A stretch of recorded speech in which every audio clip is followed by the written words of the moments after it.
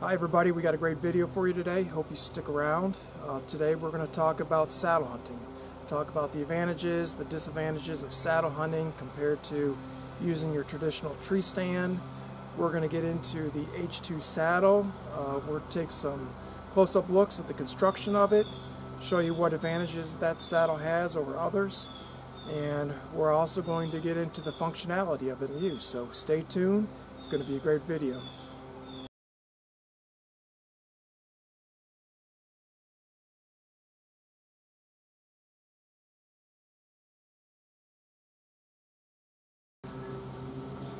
So let's talk about some advantages and disadvantages of hunting on a saddle.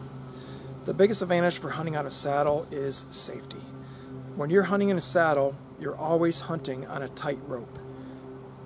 Uh, just by the fact that you're hunting off a tight rope, it eliminates that potential for a free fall.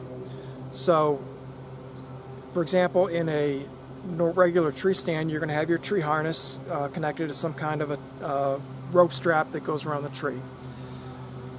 Um, if you fall in that, you could fall two, three, four feet before that rope gets tight, and then you've got that impact of the shock of that rope grabbing you. Um, that can give you some pretty serious injuries. So, in a saddle, you're on a tight rope all the time, so think of it as a saddle is preventing a fall, where a tree harness um, is catching your fall. And big difference between those two. So, safety is a huge factor. So let's talk about a little bit about mobility. Um, huge advantage goes to the saddle versus the tree stand. Uh, just for the fact of one, weight. When I'm hunting out of a saddle, my saddle, this is the uh, Hot Shot by H2 Saddles. Um, that comes in at 22 ounces. Um, the slingshot saddle from H2 is also 22 ounces, so they both come in right at the 22 ounce range. Varies slightly depending on your size, but 22 ounces is your average size for those saddle, average weight for those saddles. You're also going to need two ropes. You're going to need a tether, and you're going to need a lineman rope to be able to climb with. Um, H2 ropes are come in at uh, 13 and a half ounces, and that is with the carabiner. Um, so that is your complete rope with the prusik and the carabiner um, attached to it.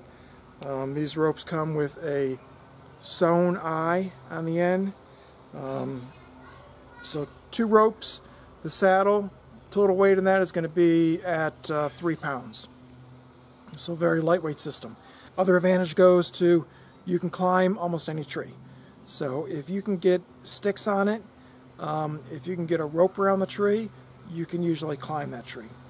Um, if you're using a, uh, a climbing stand, for example, you're limited to those uh, straight poles or straight telephone pole type trees with no branches. Um, you can't go around branches with those. So another advantage goes to the saddle for um, ability to hunt any tree. Now, the beauty about hunting any tree, excuse me, is you can walk into the woods until you find hot sign.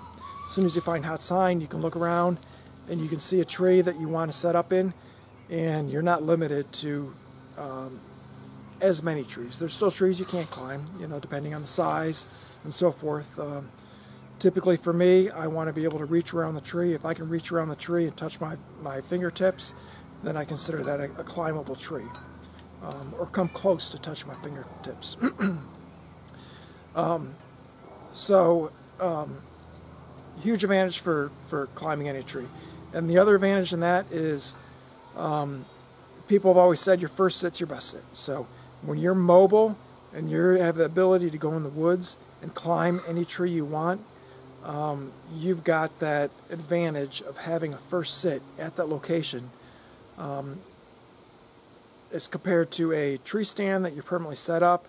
Um, after you visit that a couple times, um, you're going to notice that deer are going to avoid that area. They know you're there.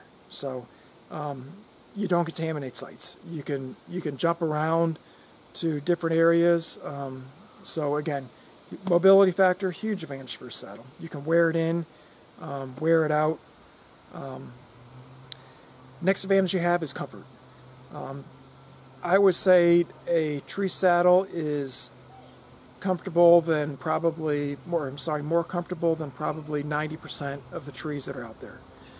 Um, tree stands that are out there. I should. say. But the comfort of a saddle for an all-day sit, it really is hard to beat. Uh, it is very, very comfortable sitting uh, system to hunt out of. Um, think of it as hunting out of a, um, a hammock. Um, the other advantage for a saddle over a tree stand is um, the stability when you're shooting.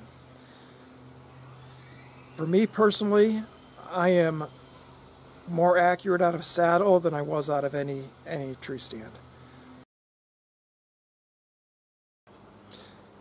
Time for a little bit of education. So you've got um, what most people refer to as MOLLE um, attachments. Um, MOLLE actually stands for Modular Lightweight Load Carrying Equipment. So MOLLE is actually the any equipment or bags that attach to this. Um, the actual strapping that is used and the size of these um, was referred to as PAL, which is called Pouch Attachment Ladder. PAL is what it stands for. So ours are, are stitched to PAL standards, um, so they will accept any MOLLE component that you want to put on there. Getting into the use of the saddle. Um, before you use your saddle or any piece of equipment, make sure you inspect it. Uh, for a saddle, look for any pulls, um, tears, frays, any points that are wearing. Um, if there is questions, contact myself. Um, I'll be more than happy to help you, um, give you my thoughts on what you see. But um, always inspect your equipment. Climbing is inherently dangerous and ultimately you're responsible for your own safety. So inspect the equipment before you use it. Um, when you start climbing, um, before you start, before you leave the ground, you always want to connect to the tree. Maintain that connection of some type until you get back on the ground again. So you're always connected to the tree with some point of connection you always want to maintain three points of contact with the tree, whether that's two feet and an arm or two arms and one foot, but always try to maintain three points of contact, contact with that tree. Uh, you want to eliminate any slack lines, so as you climb, move the ropes up with you. Uh, slack line can be an enemy. Um, last, you want to connect your connect your tether to the tree and connect that tether into your bridge before you step onto your platform. Um, I typically will put one foot on my platform, one on my stick. Um, I'll tie into my tether. At that point, I'll transfer all my weight to the platform. Just an added safety precaution to help distribute that weight. So, if the event you have a failure with your platform, um, you're already connected at that point. And then the last thing I want to say is before you remove your linesman's belt, you do want to sit down on that tether, actually transfer weight to that tether, um, and then pull your linesman's belt off.